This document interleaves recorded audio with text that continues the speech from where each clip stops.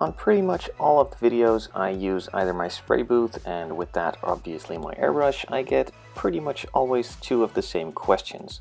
One is which airbrush are you using and the other is what spray booth is it and where can I get that. Now the spray booth that I used to use was a Sparmax SB88.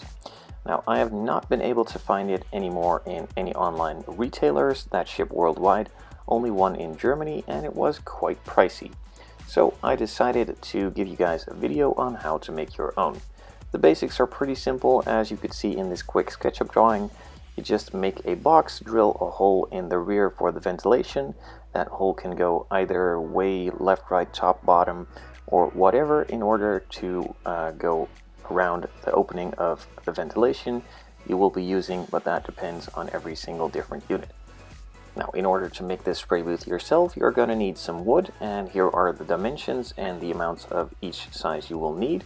And I have gone for a 2 centimeter thick plank, but that is all up to you. And the other thing is a cheap cooker hood. Now you can go really expensive with a high suction capacity or pretty cheap. I went with the cheaper route and having about 200 cubic meters an hour suction capacity and that is more than enough for painting scale models.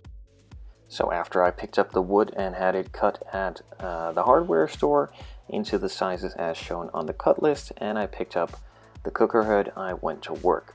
So I put a piece of masking tape on the sides and marked off where I wanted to drill some holes in order to make the box put the two top and bottom sides on each other, so I only had to drill it one time and not two separate times on both of the pieces. With all the holes drilled, I also countersunk the holes on the top so that the screw would lay in nice and flat. After drilling out and countersinking all the holes, I started to assemble the box, laying it flat on uh, the rear piece, then adding the two sides, and putting the top in and then starting to assemble it with all the screws.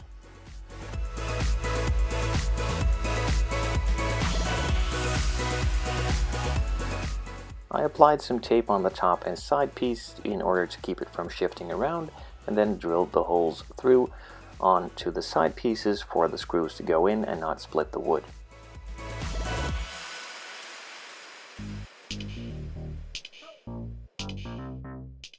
Now before you all start to wonder, yes, of course I checked if the box was square just before I screwed everything together, because a crooked box is no good, and that would drive me crazy.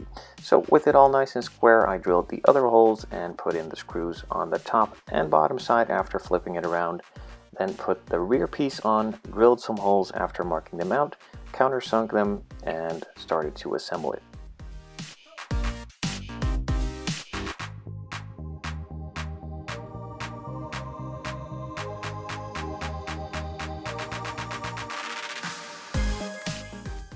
So after marking all the holes out, I first drilled all the ones on the corners, countersunk those and added some screws to keep it in place, and then drilled all the other holes.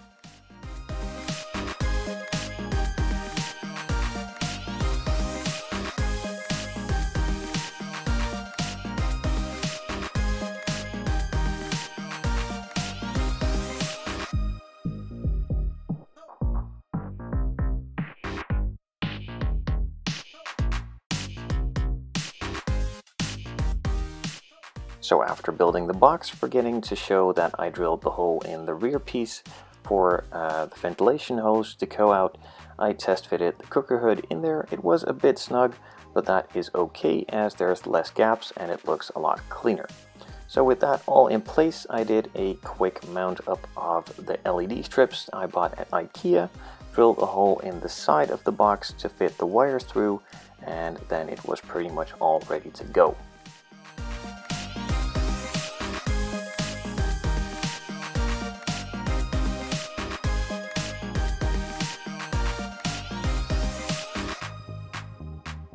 So with the wires run through, I did a quick test and yes, they actually work and it looks pretty good, nice and bright, so you can see a lot of the details. So I put it in place uh, in the attic so I can use it. Now one thing to note, this is a spray booth, it is home built, and it is built using a cooker hood. Now this is for fumes of cooking, so it has oils in them, it is hot air, and it can mostly be placed above a stove, so there's also fire. So in my eye, this should be safe uh, using it with paints, and that is my opinion. I'm not exactly sure if this is actually safe, but uh, a lot of friends of mine have used it and a lot of other scale model builders have used it in their uh, lifetime for years and years without any problems or any ignition problems with the fumes of the paints. So according to my opinion, it's safe, but that's all up to me and all up to you to decide if that's actually true or not and if you want to believe it. Now, the last point I want to make is that since this is a spray booth, it needs extraction outside. So that's why I use a cooker hood. It extracts the air, blows it into a hose, and that hose needs to go somewhere. Now, in my uh, situation, I put that hose outside of the window so the air can go outside, and I change the filter every once in a while to keep it a lot cleaner and not have to breathe all that air in. And on top of using this spray booth, I also use a respirator.